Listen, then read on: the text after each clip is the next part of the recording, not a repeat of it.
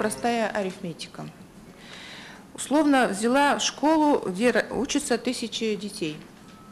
Будем считать, что э, ну, 200 человек из них питаются бесплатно из малообеспеченных семей. Вот 800 детей, которые платят в среднем за свой обед, только обед. Ну, тоже взяла среднюю цену 200 тенге. И что у меня получилось?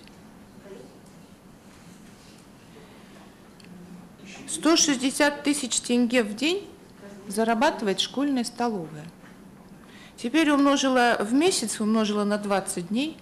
Получилось, что она заработала в месяц 3 миллиона 200 тысяч тенге. В год, значит, э, доход получается в среднем где-то 38 миллионов 400 тысяч.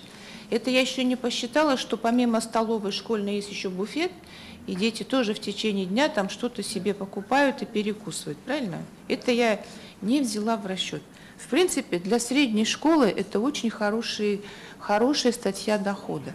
Э, Дорога Нурсултановна правильно вот посчитала, да? 200 тенге обед, 800 учеников. В день это 160 тысяч. 160 тысяч умножаем на 6 дней в неделю. 960 тысяч. Ну, шестидневка у нас. 960 тысяч умножаем на 4 недели. 3 миллиона 840 тысяч в месяц. 3 миллиона 840 тысяч умножаем на 8 месяцев. 30 миллионов 720 тысяч. И вот отсюда вытекает вопрос. Я вот вице-министру задал вопрос. Они показывают доход свой 7 миллионов, да? 7-8 миллионов это... 7-8 миллионов только показывают. Не существует ли здесь своя мафия?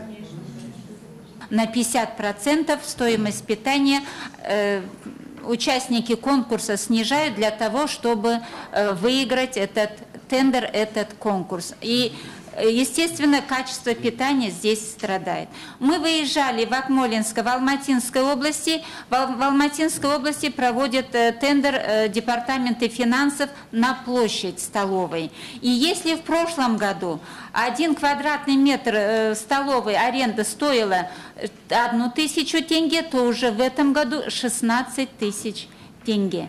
И все это, в свою очередь, влечет уже повышение стоимости э, питания.